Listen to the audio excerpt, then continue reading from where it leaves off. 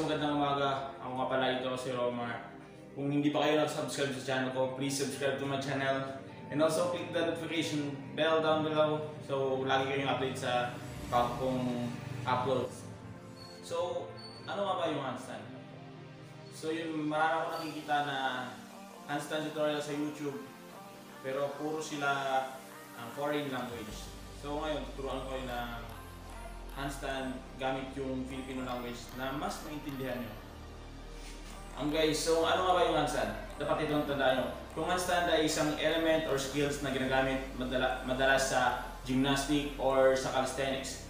Ito isang uh, bodyweight skills na napakagandang tingnan and then para siyang attractive sa mga mata ng tao. So kung gusto niyo malaman ito, stay tuned sa channel ko. And this video will help you to get a handstand um, soon.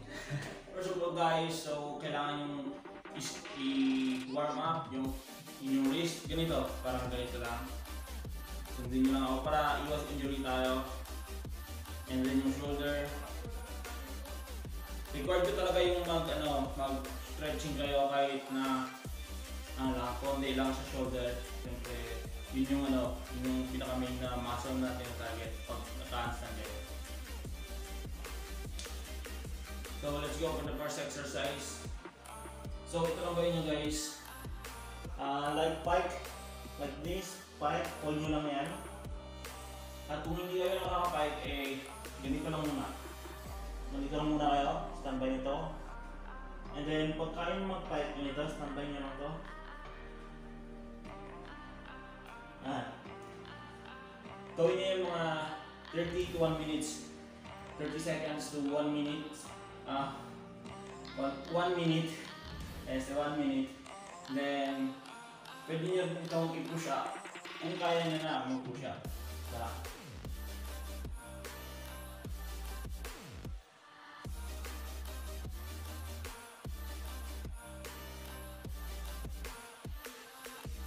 Guys, kahit na malakas kayo sa push-up, pero pag nag-constant training kayo, iba na yung takbo ng push-up nyo.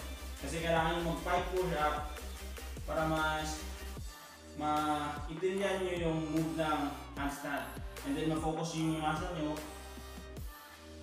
uh, especially your shoulder, na para hindi kayo mabigla sa handstand position.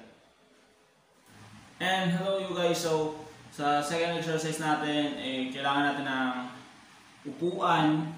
Kung wala kayong P-bar, eh, pwede nyo rin gamitin yung mga upuan sa bahay nyo. So, yun yung advantage natin bilang uh, calisthenic athlete so, or practitioner na magte-training tayo ng handstand. So, by the way guys, uh, pwede kayo sa mag-upisa sa baba na mag-pike push-up tulad ng ganito. Dito muna tayo sa P-bar. Simulan natin to. Ito yung guys yung sinasabi ko. Tulad ng 5 push-up kanina, 5 push-up ulit tayo pero naka-decline. So.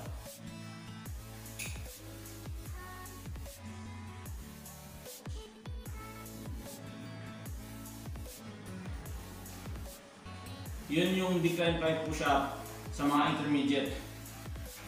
Pero pag nakagain na kayo ng strength, pwede nyo gamitin yung upuan. Ito, yung stool. And then mag-push up. Yeah.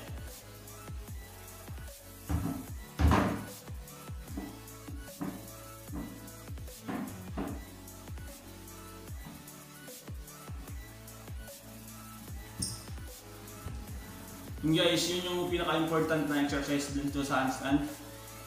And then pag hindi nyo pa kaya i-push up yung mga decline or pike push up, mag-pike position lang kayo pero hold nyo ito ng mga 30 seconds or 1 minute.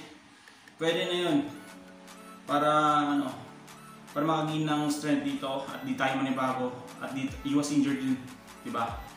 So, yung purpose ng push-up, kasi dynamic exercise siya, makagain tayo ng strength.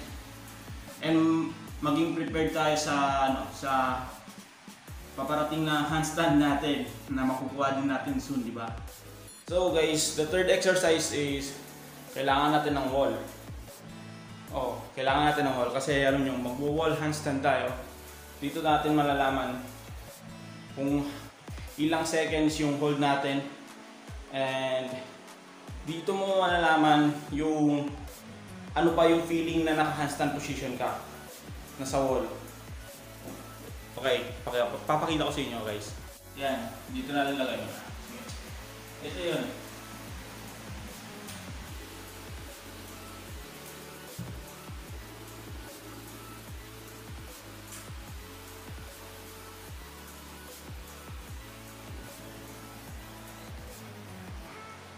Yan guys, yan yung wall handstand.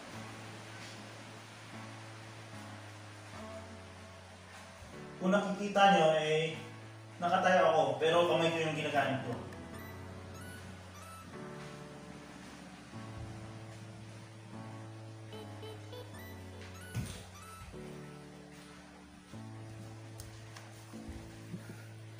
Eh, bago kayo mag-wall handstand, nakita nyo naman yung wall handstand ko.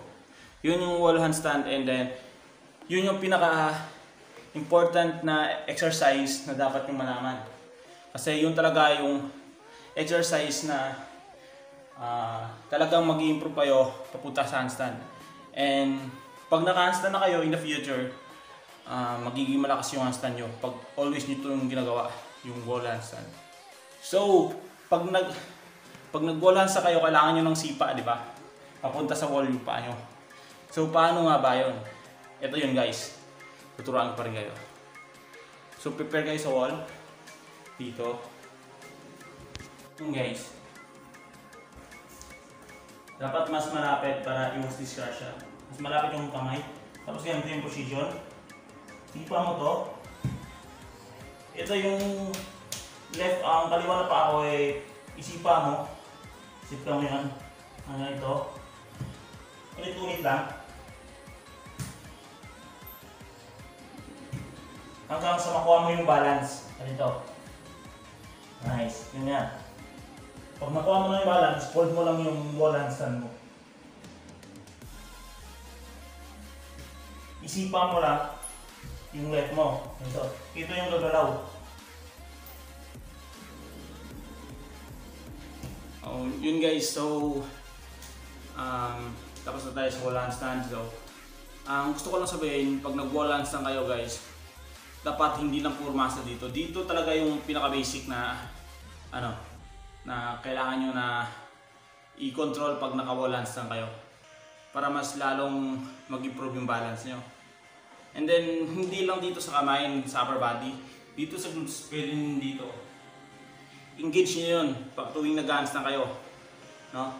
Ito, demonstrate ko sa inyo yung handstand. Ito na yun guys, mag-handstand tayo.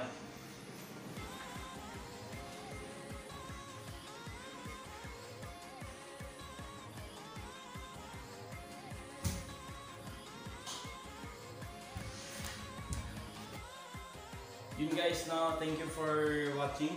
Salamat sa panonood. So, hopefully tulungan niyo ako mag-grow yung YouTube channel ko. Then marami pa akong mga tutorials na gusto i-mamahagi sa inyo or i-share sa inyo. Tulad ng front lever, uh, elbow lever, back lever. So, tapos mga top plunge kasi hindi pa ako talaga nakaka-plunge ng full straddle lang pero dirty. Pero looking for the future kasi doon namin tayo parating.